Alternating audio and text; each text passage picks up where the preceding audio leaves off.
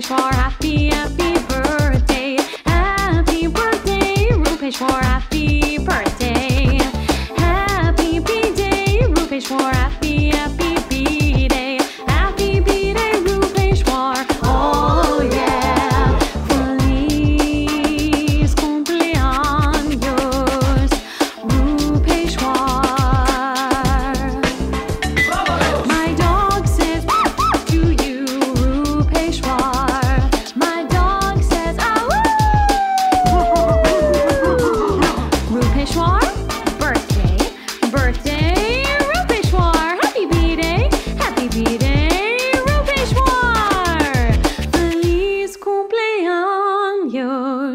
Rue Pêchoir, yeah.